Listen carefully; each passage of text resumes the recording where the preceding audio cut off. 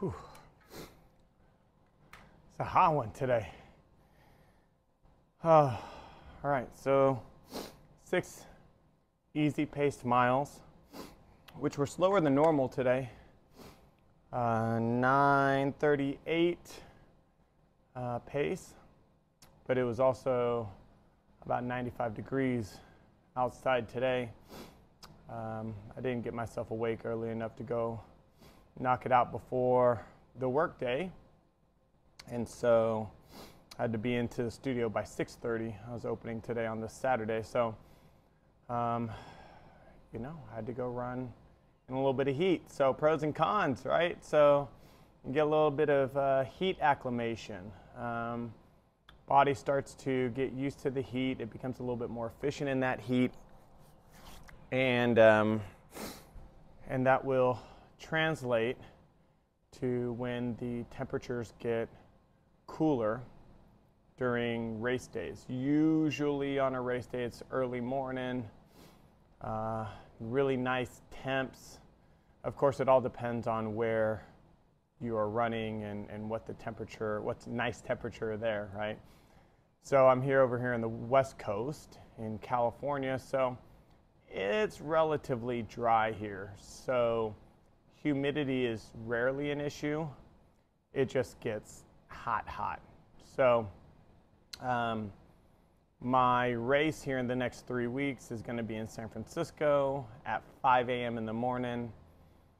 I haven't really researched the weather, but I anticipate that it's going to be much cooler um, than it is right now. I don't anticipate 95 degree weather or anywhere near 95 degrees.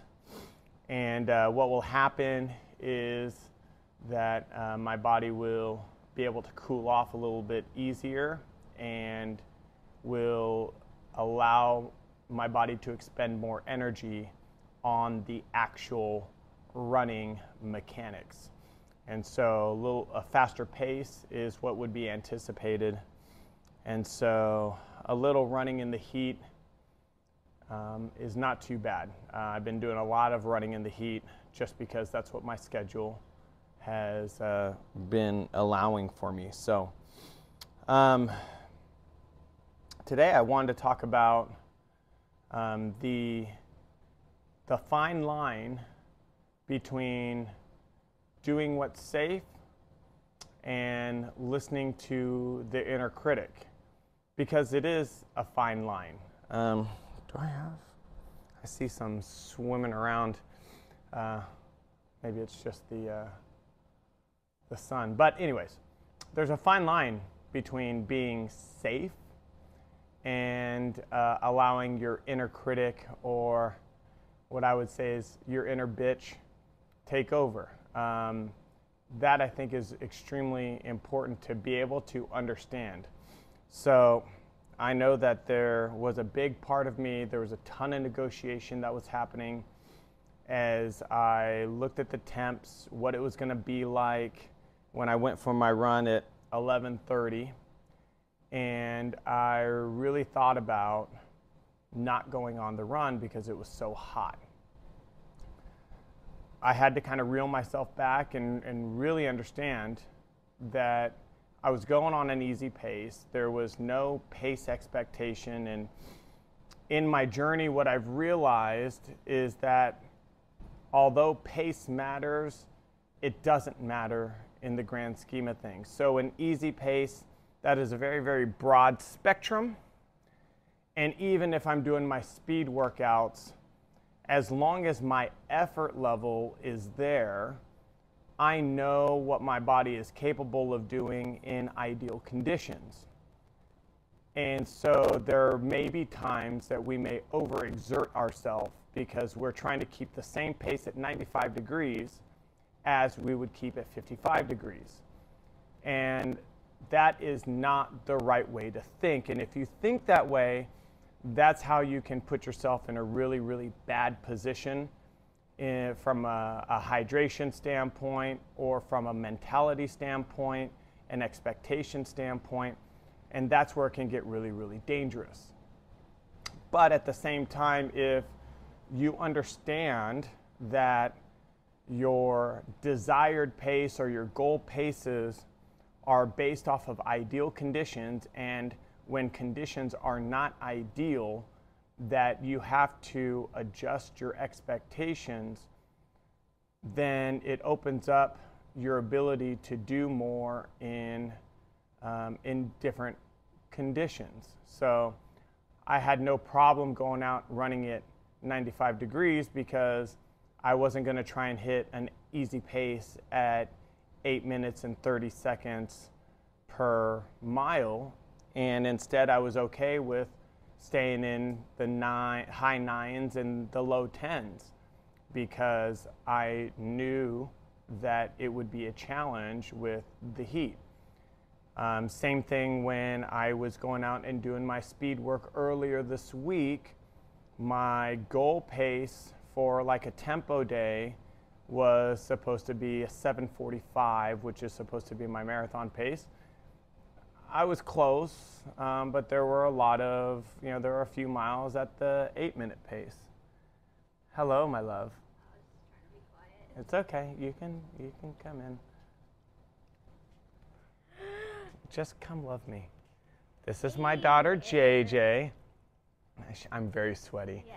It's her birthday tomorrow. And so we're going to do a little celebration today because she's going to go hang out with her friends tomorrow. It's fine. I'm fine as long as I get a day with you. She feels guilty right now.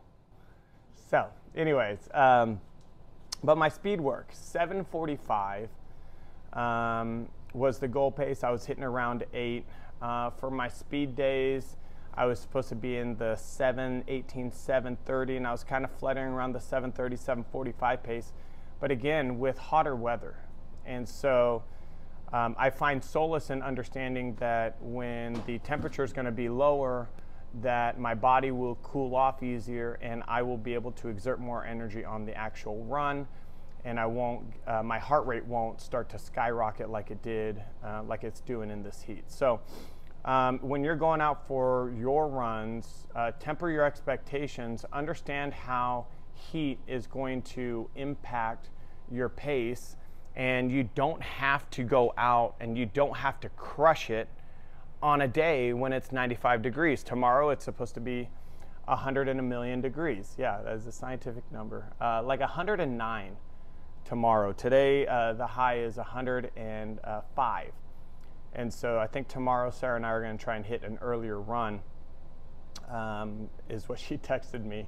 So uh, we'll, we'll see what that looks like given the fact that we have to figure out how to run at 5 a.m. in the morning for the San Francisco Marathon, which also means that we got to wake up at like 3, 3.30 to eat and get our electrolytes in and all that other stuff. So, um, so temper your pace be aware that, um, that your pace will sac- be sacrificed in heat. But also understand that you could probably take, depending on the amount of um, how hot it is, you can take time off of that pace and get a realistic understanding of what you're going to be doing. There are calculators online um, that will tell you how heat can roughly impact your paces. Um, I don't have those numbers, so I don't want to mislead you guys, but um, you can take a look at that. All right, so that's all I got. Um, circumstances don't change your responsibility. I had a training run I needed to do today. I wasn't able to get up earlier enough to do it, and so I had to go get it done in not the most ideal conditions, but I'm glad I went and got it done. Um, and uh, it's better than sitting there skipping the run and, and thinking to myself how I skipped the run and feeling bad about it. I'd much rather go out and, um, as I always like to say, don't put up a zero, right? Do something. Even if you just, if you're supposed to run six, maybe you just run a couple, maybe you run three, um, maybe you just run a mile, but go out and do something. Um, it's going to do a lot for you mentally, and then when you're out there, you may find, oh, you can push one more mile, or you can push one more mile, um, and there's a lot of power in uh, just going one more. All right. Have a wonderful day, you guys. I'm going to go shower up, take a nice cold shower, get some food in my system, and uh, yeah, I love you all. Have yourselves a wonderful, wonderful day. Deuces.